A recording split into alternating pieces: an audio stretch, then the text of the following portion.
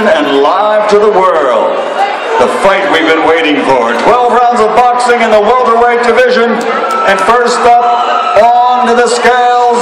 He's a five-time world champion in four different divisions. Damas y caballeros de Ciudad de Mexico.